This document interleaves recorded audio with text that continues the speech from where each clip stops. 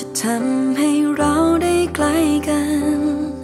แต่มันไม่มีทางอยู่ดี จะมีแค่ฉันที่ทำอยู่ฝ่ายเดียว พยายามจะทำให้เรานั้นชัดเจน